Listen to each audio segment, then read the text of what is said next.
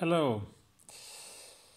I had a Surface uh, 3 once uh, and I were very happy with it because it I could install Ubuntu on it uh, in a dual boot system and uh, it was very nice to have it with me when I were traveling as it is very light and uh, and so on. But uh, then the, I had problems with the bat- battery. It didn't load anymore I have learned that this that was a big problem with Surface 3.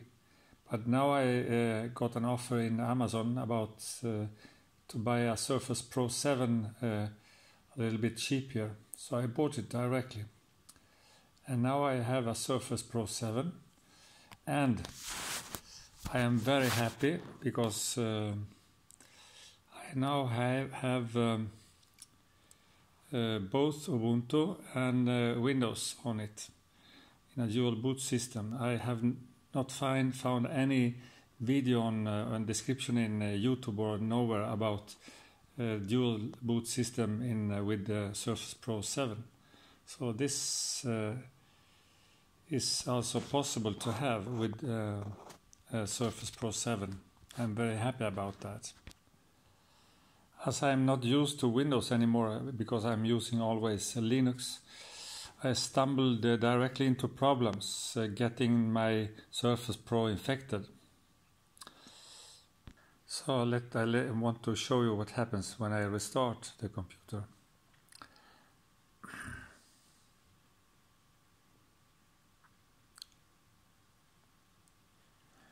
The, the, the, the um, menu is very small, hard to read, but you can choose here. It's the GNU uh, grub, and you can choose between uh, starting with Ubuntu or with Windows.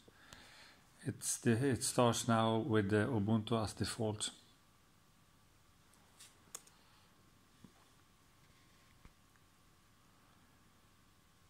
And Ubuntu starts uh, very fast. It's very fast. So this is Ubuntu. Uh, I have my Surface uh, mouse, uh, USB mouse connected.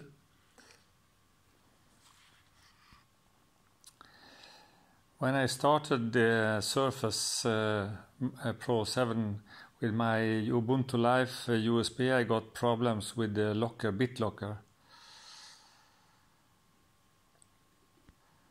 So uh, when I restarted the computer again, I uh, got my uh, got BitLocker stopped me from starting the computer. So I recommend you to check and take note about your Windows key in the Microsoft homepage before you do anything with a USB.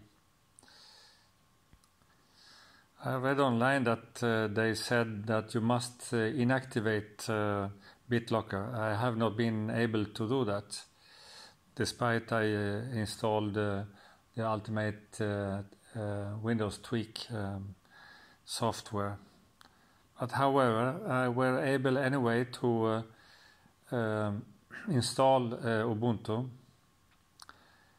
And once I put in the key again, and uh, now I'm not requested for keys anymore. When I restart Windows, I can restart Windows and uh, it, it, opens without any key requests. I have my Surface uh, mobile mouse connected as you can see as well as the Surface Pen but I can use the uh, uh, mouse works fine, but uh, with the pen, it, nothing happens. So uh, this is a problem with Ubuntu. If you want to use the pen, you cannot do it. So you have to restart and start with Windows. Another thing that's not working with uh, Ubuntu is the camera. So uh, if you uh, do a zoom and wants to um, use the camera, you cannot do it. So you, that's also uh, motivate you to restart with Windows. But I avoid to use Windows. Um, I simply don't like it. Um,